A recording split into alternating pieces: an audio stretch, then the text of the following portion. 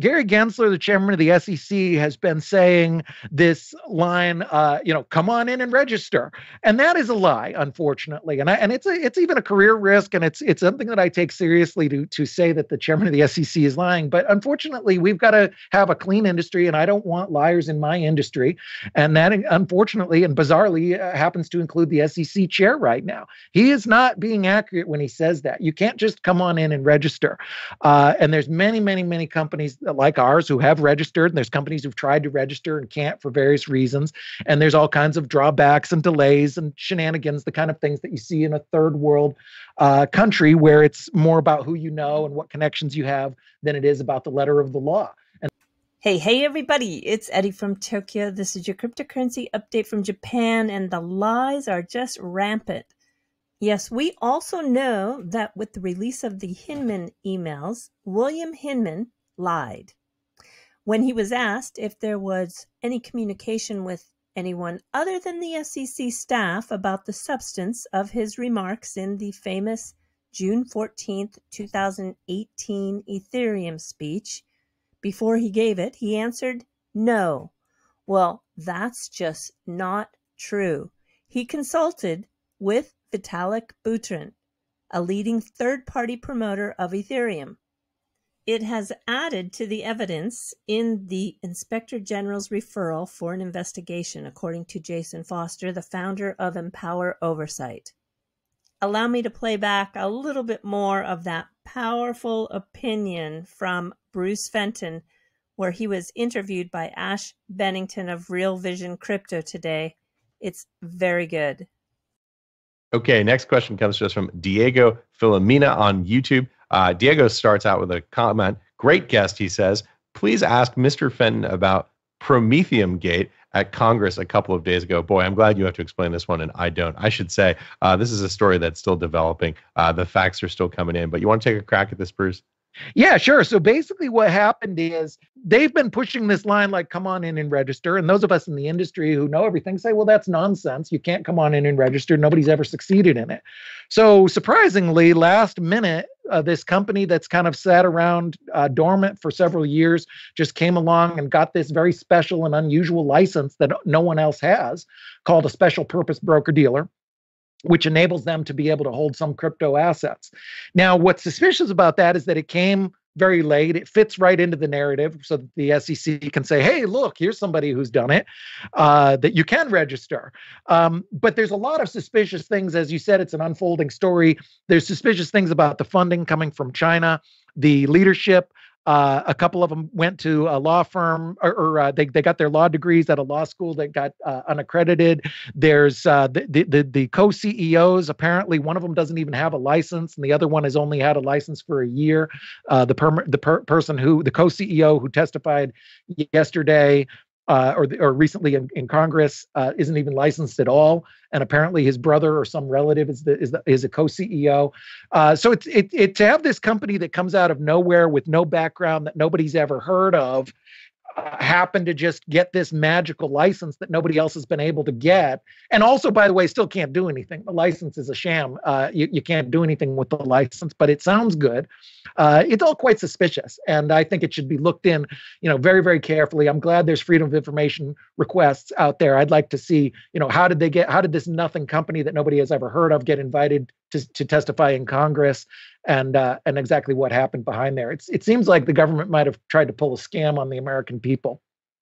You have many people on Twitter sleuthing on this company, Prometheum. Let me show you one video that no one has found. Just in case you've stepped away from crypto for a couple of days and yeah, things change so fast in this space.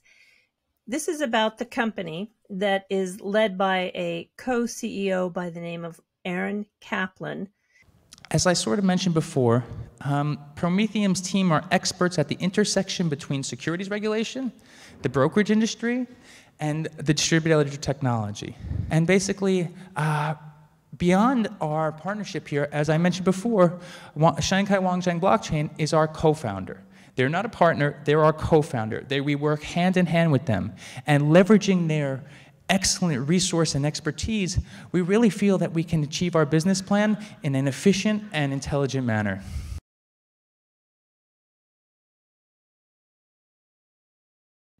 This Chinese company is not just an investor, as you heard, they are a co founder. Many YouTubers are saying it was just an investor, but you can see there is a lot more of a connection there. And as Charles Hoskinson says, who the heck are these Prometheum guys? In my opinion, I think the SEC just put in a plant to show that you can register, but we all know that that was just a sham. Senator Tommy Tuberville wrote a letter to Gensler about his concerns, giving the first ever special license to a Chinese company, yet denying American companies a way to register. The Wanxiang Blockchains Lab is a company that, as you can see here, has Vitalik Buterin on as its chief scientist. But Prometheum now claims they are an American company because of an omnibus contract separating the relationships between the two. I'm sure this story is going to develop further and we'll keep our eye on it. But I'm now going to move to BlackRock because, wow, they've officially filed for a spot Bitcoin ETF. Yeah, it's huge. But also, too, as Jesse Hines points out, BlackRock in doing this just is keeping the rich rich and the poor poor. And I want to point out one more thing that Charles said. He said that Bitcoiners defending BlackRock is all you need to know about their ethics, mental state, and greed. You know, that is way too much of a generalization. I think everyone needs to be very careful. Don't say like those guys or they or because you you just cannot generalize that way. Bitcoin was the very first cryptocurrency I ever purchased back in 2014. And you can't tell me because I am a Bitcoin owner that I'm defending BlackRock. And now look at this. We've got some excellent news coming out of the Quant Network camp. They have been collaborating with the Bank of International Settlements and the Bank of England on a project called Rosalind. Quant is one of my top three, and mostly because I know CBDCs are coming and there are just so many solutions out there. Why would I put only one solution in my basket when I can have Quant that makes all of those solutions interoperable. They were chosen to provide the technology because of the history of innovation, their expertise in fintech, and also deep payment experience. And I thanked Gilbert Verdian for including a privacy aspect of this test. APIs define how systems should talk to each other the prototype connects central bank ledgers with private sector service providers. It experiments with API functionalities that would enable providers to develop applications.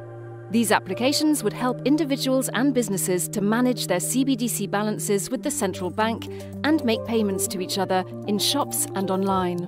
The project explored many CBDC use cases, some use cases tested integration with existing payment systems, some tried new ways to make payments, and some tested applications with emerging technology.